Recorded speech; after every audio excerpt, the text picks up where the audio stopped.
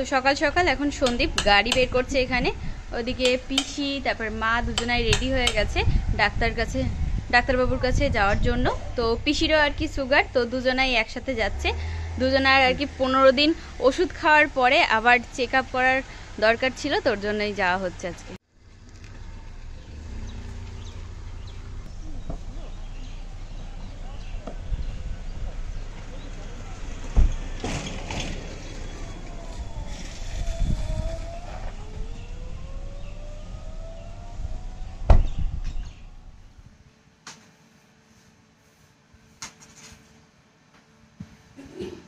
Good morning everyone সকাল সকাল আজকে ঘরে ঝুল ঝাড়তে শুরু করে দিয়েছি। সকালবেলা ঘুম থেকে উঠেই। আর এমনি বাসি যা কাজ ছিল সব হয়ে গেছে। মা দেখতেই পেলে সকালবেলা ডাক্তারের কাছে চলে গেছে। তো ডাক্তারবাবু আর কি সকাল আটটার থেকে বসে নটা পর্যন্ত। মানে এক ঘণ্টা বসে বাতকুল্লাতে তারপরে আবার অন্য যে জায়গায় ওনার চেম্বার আছে, তো সেখানে বসে। তো এই সুযোগে তাই ভাবলাম যে, না, ঘরের ঝুলটা অনেকদিন ঝাড়া হয় না, তো ঝুলগুলো একটু ঝেড়ে নিই। তারপরে একেবারে ঘরটর ঝাড় দিয়ে মুছে নিই। এই কাজগুলো অন্তত আমি করে রাখি।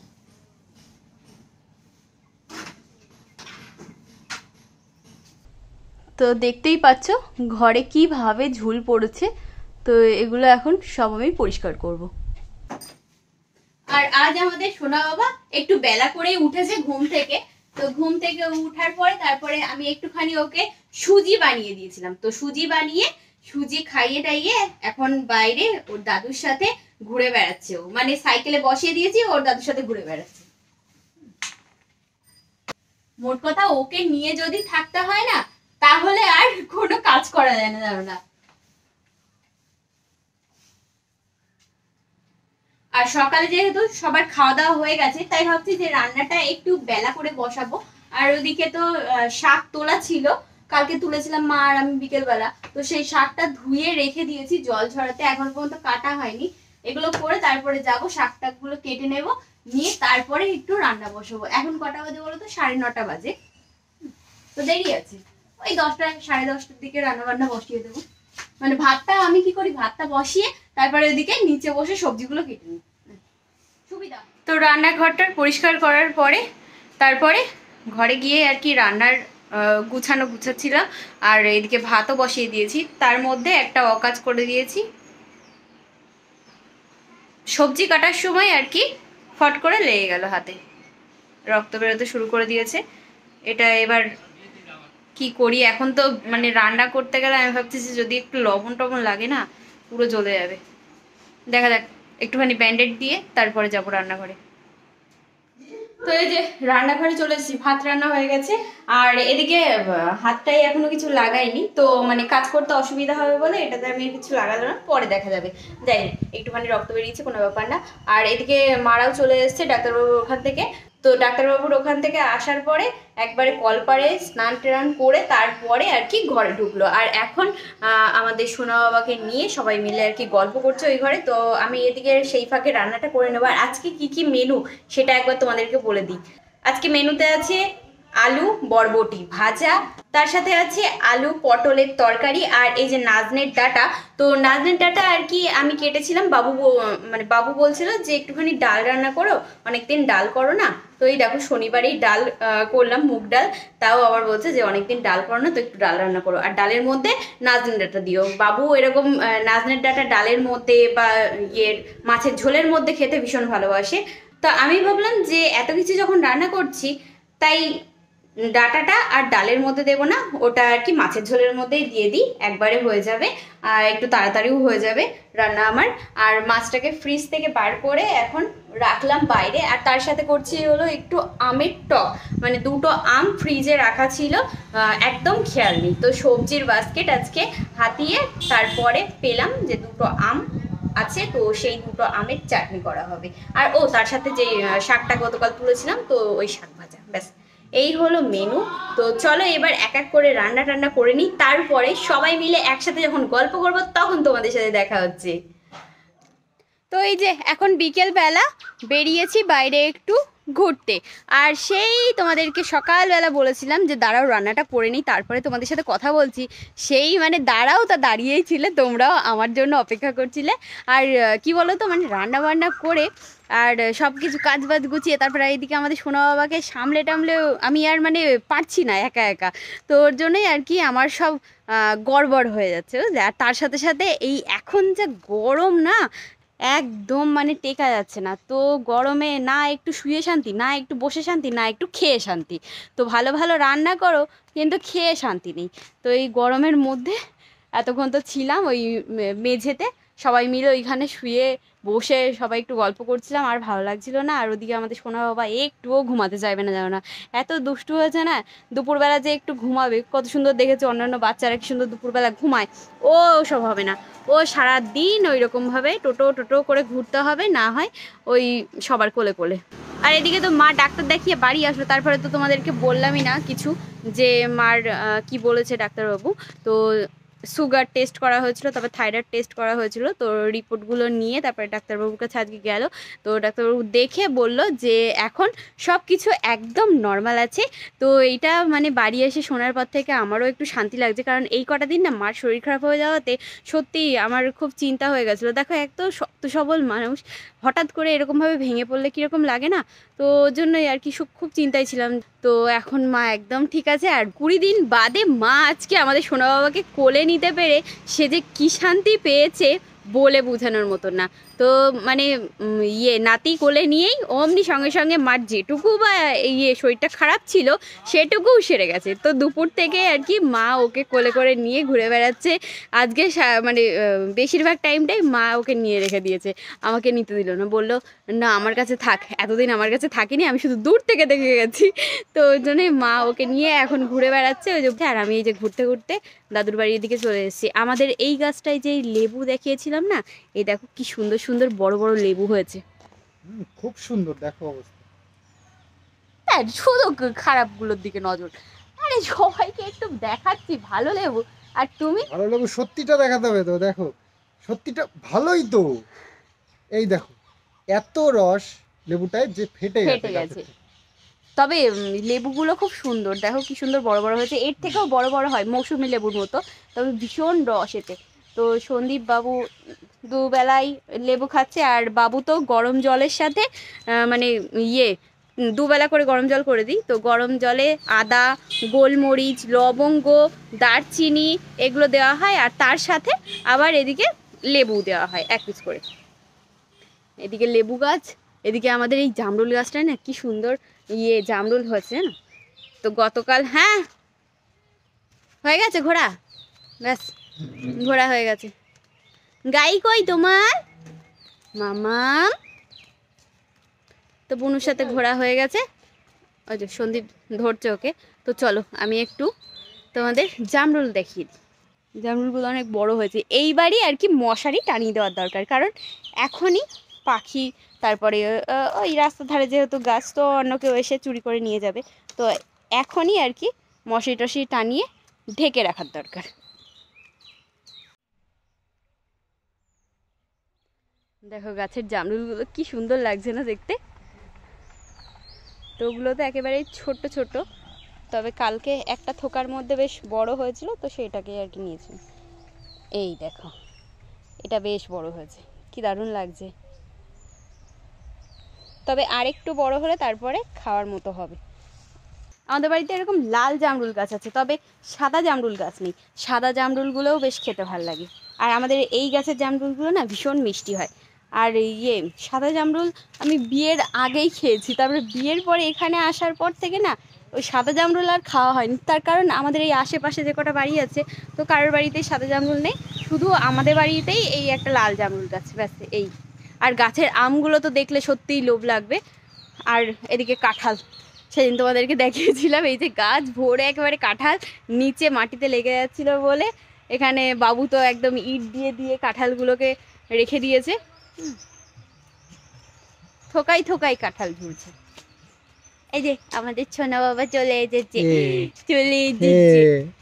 আর এতটাই গরম পড়েছে আমিও যেমন সাজুগুজু করিনি আমাদের সোনা বাবাও তোরা সাজুগুজু করিনি। ওই বাবা দিল। খালি গায়ে ন্যাংটা সাধু ঘুরে বেড়াচ্ছে। ঘুরে বেড়াচ্ছে ন্যাংটা সাধু খালি গায়ে।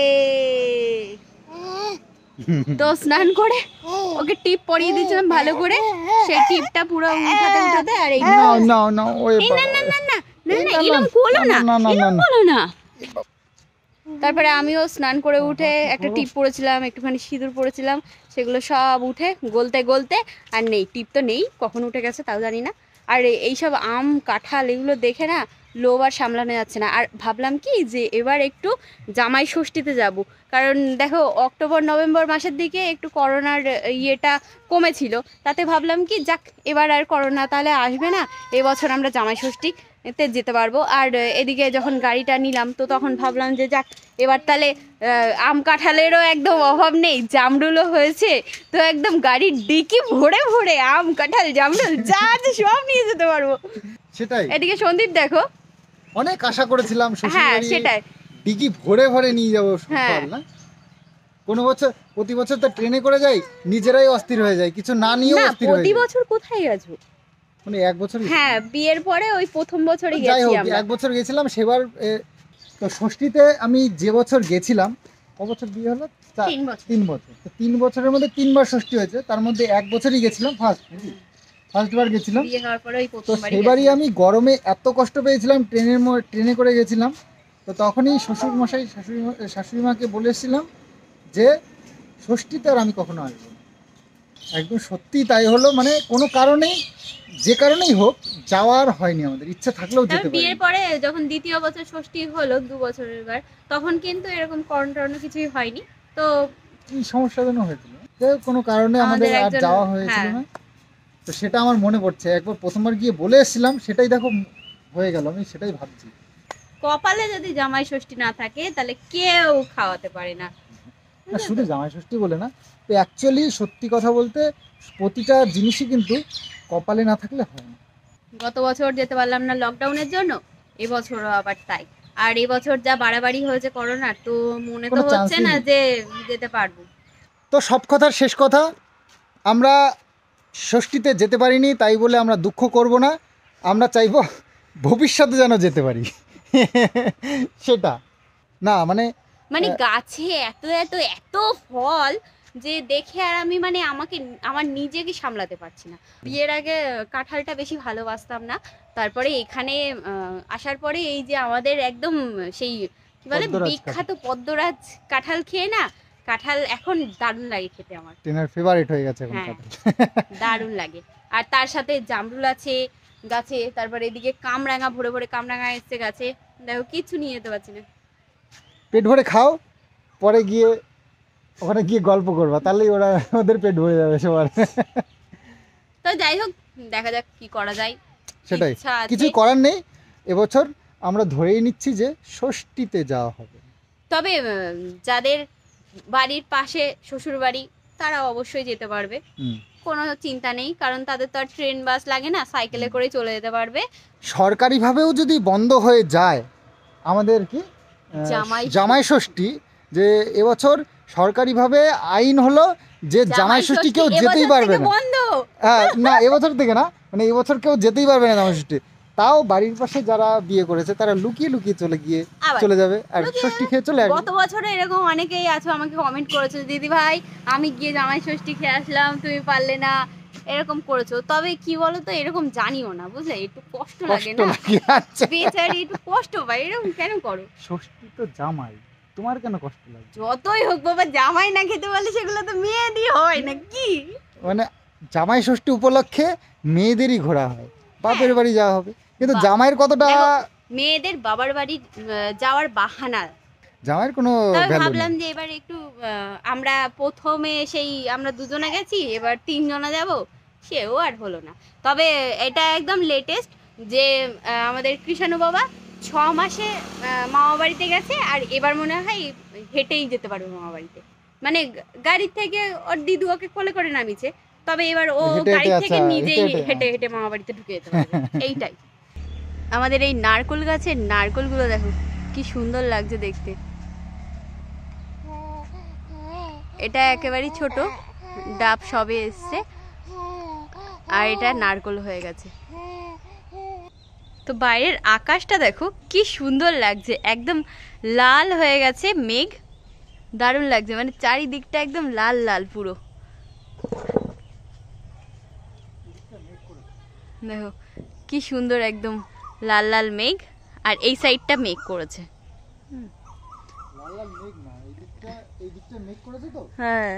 তো এই দিকটা সূর্যটা এখনও রয়েছে তো সূর্যের ইয়েটা এই কালো মেঘের মধ্যে দিয়ে এরকম লাগে লাল হয়ে গেছে, তাই না? তবে বলে লাল মেঘ হলে নাকি ইয়ে হয় কি বলে? রোদ্দুর ভালো হয়। আগামীকাল রোদ ভালো হবে। হ্যাঁ বৃষ্টি হলে তো খুবই ভালো হয়। তার কারণ যা গরম। তো এই কোনাটা দিয়ে পুরোপুরি একদম মেঘ করেছে, তবে ক্যামেরাতে অতটাও ভালো বোঝা যাচ্ছে না মেঘটাকে।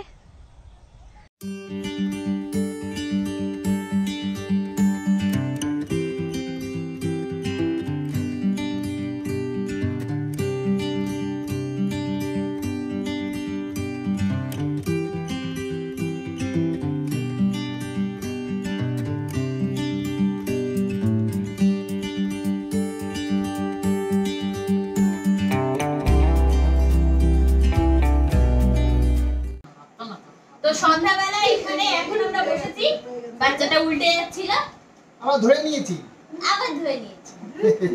সবাই মিলে একটু গল্প করতে বসেছি। এখন আমরা আর সন্ধ্যাবেলা চা তারপরে গরম জল সবার খাওয়া দাওয়া হয়ে গেছে। আর আজকে এতটাই গরম পড়েছে না কিচ্ছু ভালো লাগছে তবে তো দাও। বাজাও। তবে এই যে মা এখানে বসে আছে। আর আজকে বললাম তোমাদেরকে বিকেল বেলা যে ডাক্তারবাবুর কাছ থেকে শুনে এসছে। তো আজকে থেকে মা আমাদের সোনা বাবাকে কোলে নিচ্ছে। তুমি বলো তুমি কতটা খুশি? আমি তো ভীষণ খুশি। অনেকদিন পর নাতিকে কোলে নিতে পেরেছে। ভীষণ খুশি। না দাদা? খুব আনন্দ। বলো বাবা। দাদা আমি খুব খুশি তোমার কোলে তোমার কেমন আনন্দ? হচ্ছে হ্যাঁ, হ্যাঁ, ওর আনন্দ।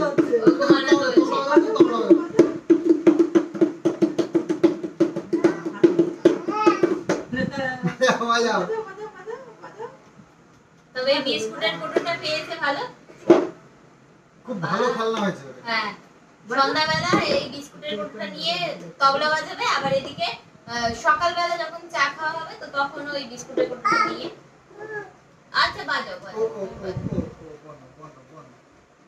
এ, কি? সন্ধ্যাবেলা সবাই মিলে একটু গল্প টল্প করব এখানে বসে হাতে লেগে যাবে ভালো লাগছে না তো বসে বসে ভালো লাগছে না তো আর। এই বাবা, ওই বাবা, এবার কোলে। সন্ধ্যাবেলা এই যে এখানে দুষ্টুমি করা হচ্ছে সবাই মিলে একসাথে। ব্যাস। বাবা মায় না বাবা। আবার কি? ভিডিওতে কথা বলবা বলো কি এবার করতো এবার কথা বলো কি বাবা, এই, এ, ছেড়ে দাও ছেড়ে দাও ছেড়ে দাও না, মারা, ওই যে ওই যে মারা, সবাই মারা। দেখছে ছেড়ে কিন্তু দাও তুমি ছেড়ে সবাই দাও দেখছে কিন্তু সবাই দেখছে তুমি মামাকে মারছো বাবা, তুমি ছেড়ে দাও। বুঝতে পারো নি এতে কি হচ্ছে এখানে দাদা, তুমি কিন্তু সোশ্যাল মিডিয়ায় বদনাম হয়ে যাবে বলে দিচ্ছি। যেমন ফেমাস ছিলে সেরকম একদম বদনাম হয়ে যাবে। পচা ছেলে বলবে। সবাই বলবে পচা বর্ণ ছিলে? হ্যাঁ, এতক্ষণ বাদে এইবার বুঝতে পেরেছে যে হ্যাঁ এই তো এখানে কিছু একটা হচ্ছে কিছু একটা হচ্ছে। এই চলো তাহলে